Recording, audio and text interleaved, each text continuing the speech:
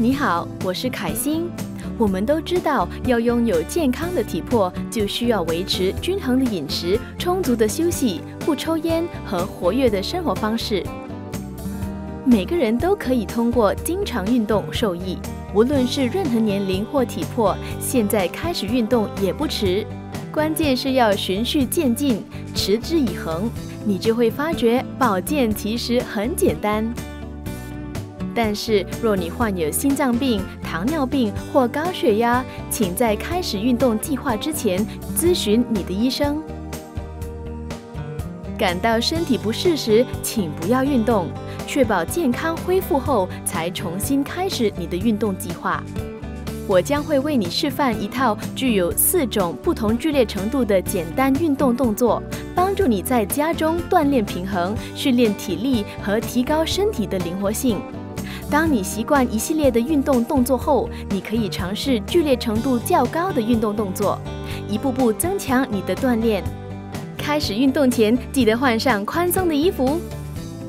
准备好了，我们开始运动吧。我们从热身开始，原地踏步，根据适合你的步伐，在原地慢慢踏步。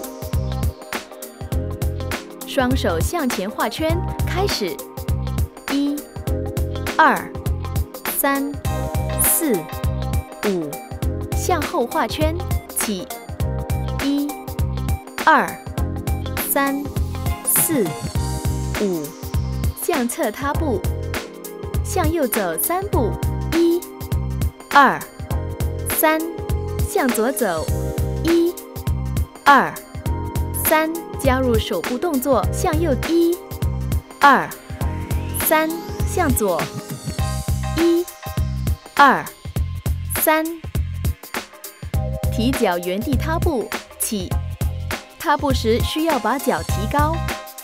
加入举手动作起，一、二、三、四、五、六。重复原地踏步和其他热身运动步骤。双手向前画圈，起，一、二、三、四、五。